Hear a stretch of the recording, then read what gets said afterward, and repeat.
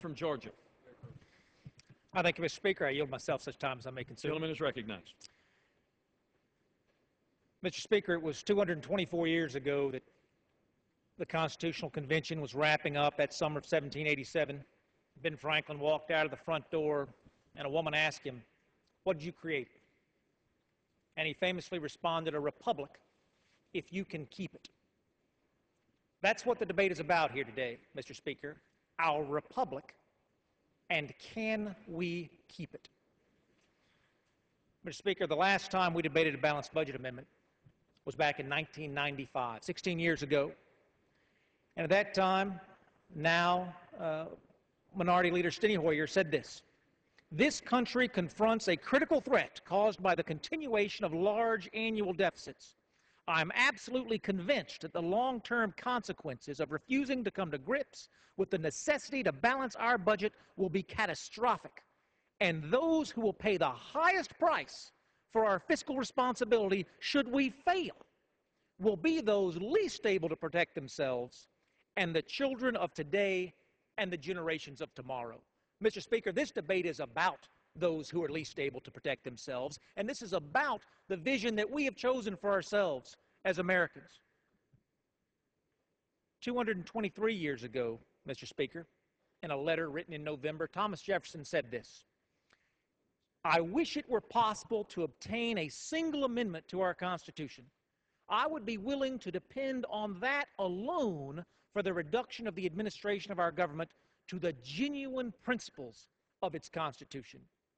I mean an additional article taking from government the power of borrowing. Our founding fathers, 223 years ago, folks talk about a bill being rushed to the floor, Mr. Speaker. This is a debate that has been going on since the founding of our nation. Since the founding of our nation.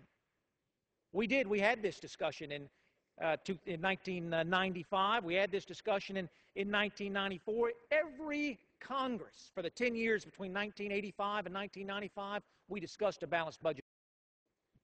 Apparently, there was no need to discuss any longer, and look where we are. I was down in Chinatown the other day, Mr. Speaker, where conveniently enough, our United States debt auctions were held right downtown in Chinatown.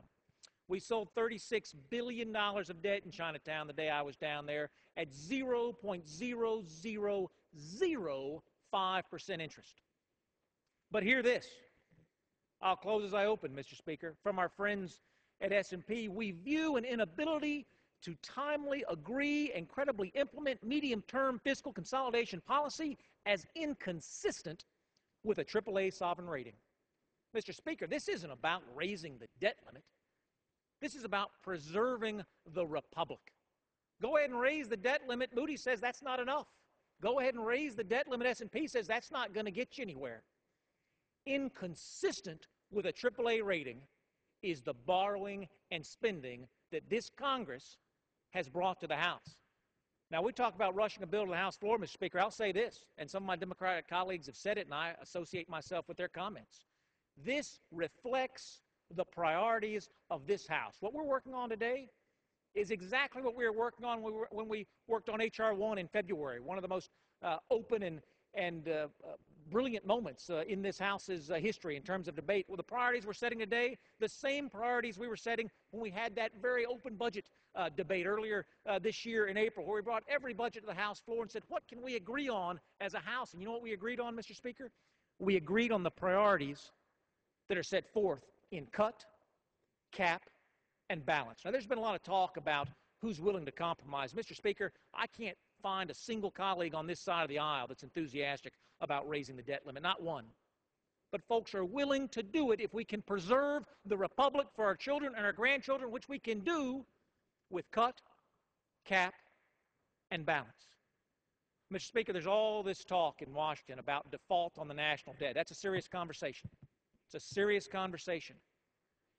I want to talk about defaulting on the promises of our founders. I want to talk about defaulting on our republic, Mr. Speaker.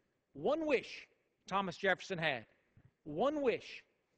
If it were possible to obtain a single amendment to our Constitution, it would be an additional article taking from government the power of borrowing. I understand, Mr. Speaker, that there's a lot of reluctance to do that. There are lots of great things that folks have priorities that they would like to spend on. This isn't about those spending priorities. We'll still have that conversation. H.R. 1 was about those priorities. Our budget discussion was about our priorities. Today, it's about the future of our republic. You need read no further, Mr. Speaker, than the credit rating agencies telling us that August 2nd is not the date we have to fear. Today is the day that we have to fear because if we fail to pass this bill, our republic stands in peril. Mr. Speaker, I rise in strong support for this rule. I'm grateful to the Budget Committee for bringing forward this resolution, and I ask for a uh, unanimous vote of support uh, as this resolution comes to the floor. Uh, with that, I yield back the balance of my time, and I, u- I, pardon me, I move the previous question on the resolution. Question is on ordering the previous question on the resolution. Those in favor say aye. Those opposed, no. Opinion of the chair, the ayes have it. Speaker, on that I ask for the yeas and nays.